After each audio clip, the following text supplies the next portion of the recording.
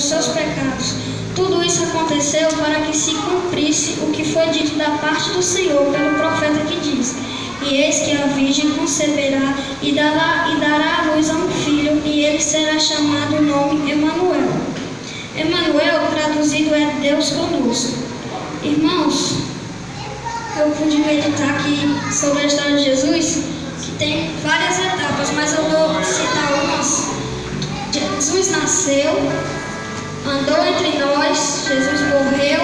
ressuscitou, breve ele voltará. Enquanto Jesus não volta, a gente tem que estar em vigilância, porque nós não sabemos a hora, o dia, o segundo minuto que ele vai vir buscar a sua igreja. Então que nós venhamos andar em vigilância, porque Jesus está voltando. Eu agradeço a oportunidade.